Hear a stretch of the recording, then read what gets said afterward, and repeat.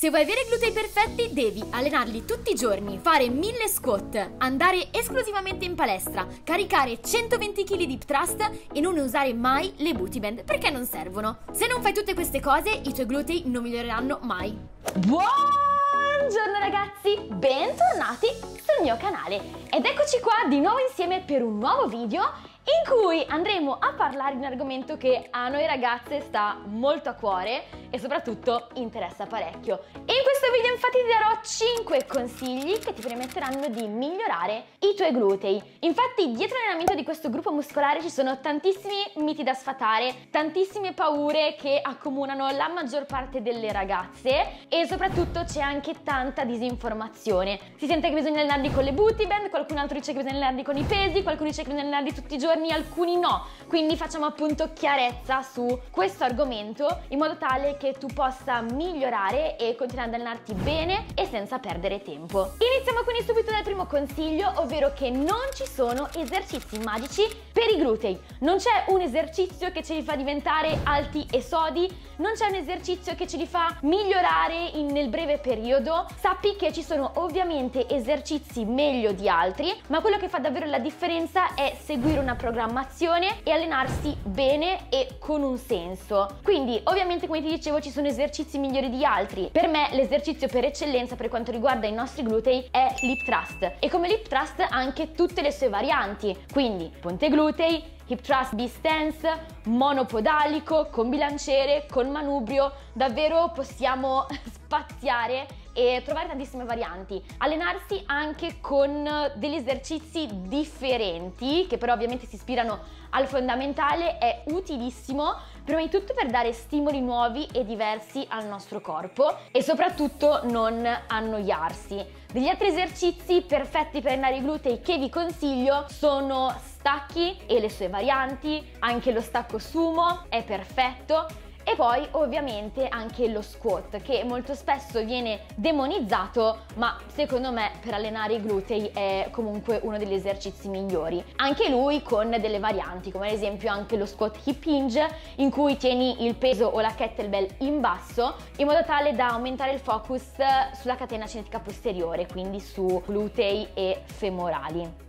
Come ti dicevo però quello che fa davvero la differenza è seguire una programmazione, allenarsi nel modo corretto e trovare anche la modalità di allenamento che sia compatibile sia con la nostra vita che con i nostri risultati e questo poi andrà a spiegartelo più nello specifico più avanti nel video. Anche perché purtroppo non è così facile migliorare e non è così facile anche allenarsi e raggiungere i nostri obiettivi. Tanto è vero che come dico sempre quello che fa la differenza è allenarsi allenarsi bene, allenarsi nel modo corretto, perché purtroppo non basta andare in palestra, alzare qualche peso, fare qualche corso, ma per raggiungere i nostri obiettivi bisogna impegnarsi, essere costanti e seguire un programma. Soprattutto se siamo alle prime armi, che magari andiamo in palestra ma non sappiamo ancora bene dove girarci, che esercizi fare, che peso utilizzare. Ed è per questo che molto spesso sente anche la frase mi alleno ma non ottengo risultati. Appunto proprio per questo motivo, perché non stai facendo facendo qualcosa che va bene probabilmente per il tuo fisico e per i tuoi obiettivi.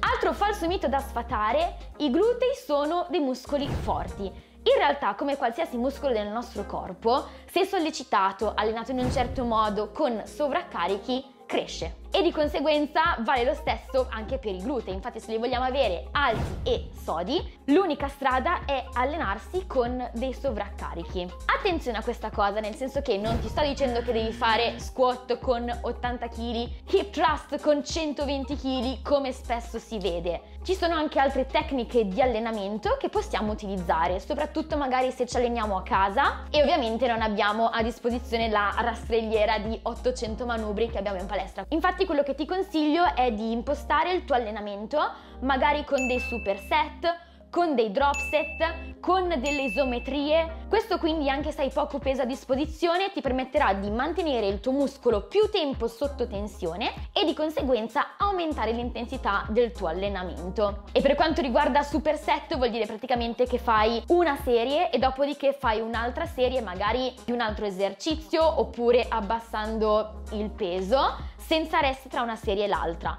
oppure aumentando il tempo di isometria, ad esempio fai hip thrust, arrivi su nel punto di massima contrazione, ti fermi qualche secondo e poi scendi. Questo sarà efficacissimo anche se appunto hai poco peso a disposizione, fidati che lo sentirai parecchio. Ovviamente, come dico sempre, l'allenamento e anche la dieta sono una delle cose più soggettive, nel senso che dobbiamo trovare il mix perfetto che ci faccia raggiungere i nostri obiettivi, sia sostenibile sia compatibile con la nostra vita e soprattutto che ci piaccia, perché comunque se eh, ci alleniamo in un modo magari troppo pesante per il nostro fisico oppure che ci annoia, così facendo sarà molto difficile essere costanti, mantenere alta la motivazione e come sai la chiave per ottenere i propri risultati è la costanza, fare le cose con calma e godersi il percorso. E infatti, come ti dicevo, non tutte noi abbiamo lo stesso obiettivo, ok? Tanti di noi magari non vogliono quei glutei così che si vedono alle palestrate, ma vogliono soltanto magari aumentare un pochettino la tonicità,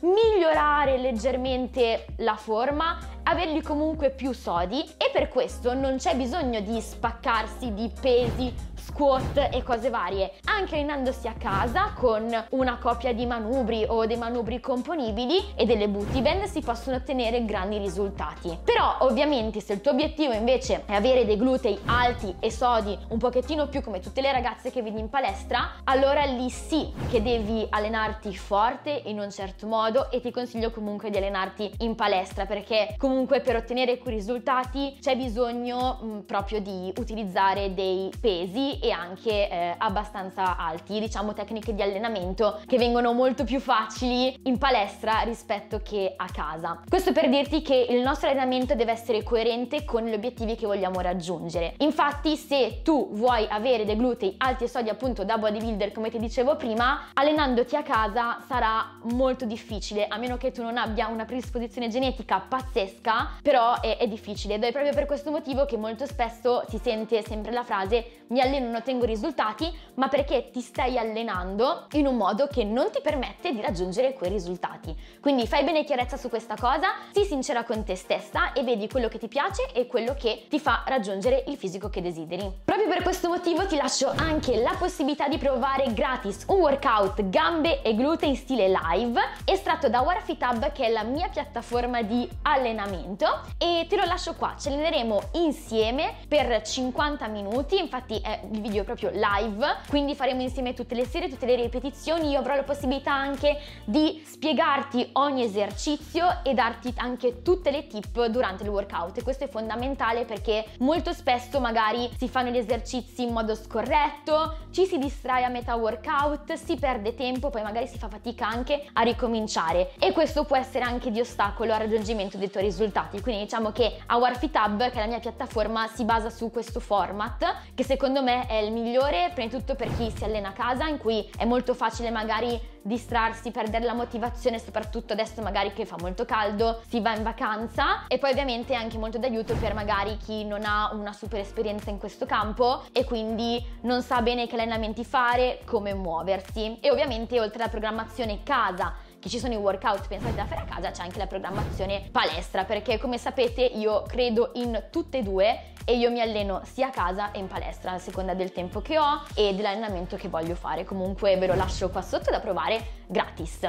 A questo punto passiamo subito al Secondo consiglio, non allenarti solo con l'obiettivo di cambiare il tuo fisico, ma abbi pazienza. Prima di tutto, per ottenere dei risultati ci vogliono mesi, poi ovviamente dipende sempre dagli obiettivi che ci prefissiamo, però come ti dico sempre è un percorso di miglioramento. E come percorso deve essere visto in un'ottica di lungo termine, perché comunque il nostro fisico non si cambia da un giorno all'altro, non si cambia da una settimana all'altra, ovviamente nel giro di qualche mese mese riusciamo a vedere dei cambiamenti, però diciamo che se vogliamo avere dei risultati davvero tangibili dobbiamo aspettare tanto. Proprio per questo motivo ti consiglio di non iniziare ad allenarti con pretese altissime, ovvero che nel giro di tre mesi voglio i glutei così, la spalla così, eh, magari ispirandoti anche a delle foto che vedi sui social, a dei video, ai video magari delle fitness influencer e quindi la cosa migliore è porsi dei piccoli obiettivi raggiungibili diciamo anche nel breve periodo. Questo ti servirà per mantenere alta la motivazione e soprattutto essere costante perché è molto facile mollare appunto perché non vediamo i risultati che ci siamo prefissati e non li vediamo magari non perché in quel caso ci stiamo allenando male ma perché sono obiettivi che non sono raggiungibili nel breve periodo molto semplicemente.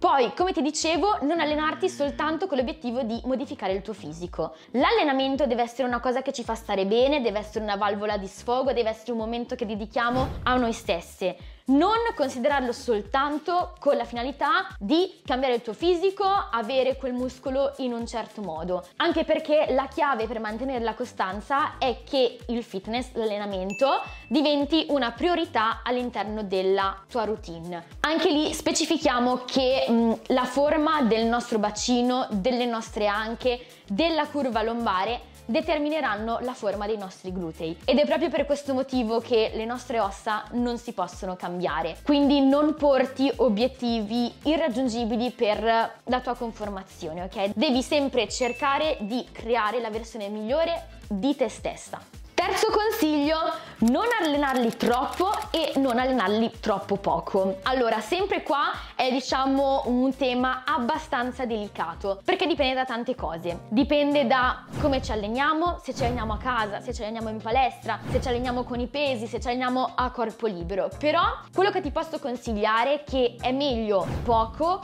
costanti, ma fatto bene e fatto sempre. Infatti quello che consiglio è di allenarli due, massimo ma massimo tre volte a settimana perché comunque il recupero è fondamentale per i nostri muscoli, per recuperare e di conseguenza migliorare. Tanto è vero che molto spesso può capitare di iniziare ad allenarsi e vedere magari ritenzione che aumenta, gambe un pochettino più pesanti. Questo perché sì, ti stai allenando, ma vuol dire che c'è qualcosa che non va. Stai facendo un allenamento troppo intenso, ti stai allenando troppo e quindi il tuo fisico reagisce così infiammandosi. Allenarsi tutti i giorni e soprattutto allenare i glutei tutti i giorni o un giorno sì e un giorno no, non va bene. Non otteniamo risultati, non è che più ci si allena e prima eh, raggiungiamo i nostri obiettivi, anzi. 4. Non stai mangiando abbastanza. L'argomento dieta all'interno dei miei video c'è sempre, perché comunque allenamento e alimentazione vanno a pari passo. Se ti alleni bene, mangi in modo corretto, i risultati arriveranno. Però ovviamente se uno dei due mm, mm, mm, non è proprio come dovrebbe essere, lì ovviamente il percorso inizia ad essere un pochettino più in salita.